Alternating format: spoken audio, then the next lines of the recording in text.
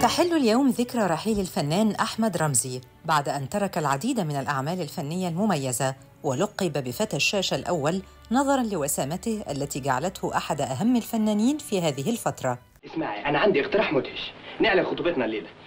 هو اقتراح مدهش صحيح. بس مش لما ناخد البكالوريوس؟ يعني هي من ست أشهر. مش قادر تستنى؟ عايز الحق؟ مش قادر. معلش هانت طب نعلن خطوبتنا الليلة والجواز يبقى بعد الامتحان. ولد أحمد 1930 في محافظة الإسكندرية وكان والده طبيباً يدعى الدكتور محمد بيومي ووالدته اسكتلندية وهي هيلين ماكاي. تعلق أحمد رمزي بالفن بسبب صداقته بالفنان عمر الشريف التي امتدت على مدار 60 عاماً حيث اعترف رمزي أن عمر الشريف هو من شجعه على التمثيل.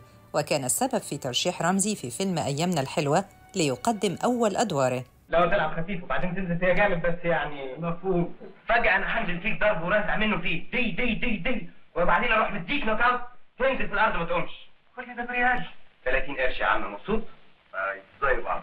قدم أحمد رمزي خلال مشواره الفني أكثر من 115 عملاً فنياً يتميز معظمها بأدوار الشاب الوسيم خفيف الظل حيث قدم أفلاماً ومسلسلات مميزة أبرزها جنون الشباب والحب تحت المطر حكاية وراء كل باب قط الصحراء الوردة الحمراء ومسلسل وجه القمر. وكان آخر أعماله مسلسل حنان وحنين عام 2007 مع صديق عمره الفنان العالمي عمر الشريف. اف منك ومن عمايلك يا أخي.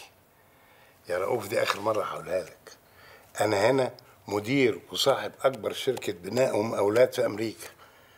مش كومبانيه المية بتاعت رود الفرج. هنا في قوانين نظم لوائح مش بوظه زي اللي أنتوا واخدين عليها في مصر. بتضايق من حاجة؟ آخد الولاد دول كلهم واسيب لك الشركة تبلطع فيها أنت وأختك. بعد اعتزال الفنان الكبير أحمد رمزي للفن اتجه للعمل بالتجارة وتوفي بعد سقوطه واختلال توازنه في منزله يوم الثامن والعشرين من سبتمبر 2012 عن عمر ناهز الثانية والثمانين عاماً.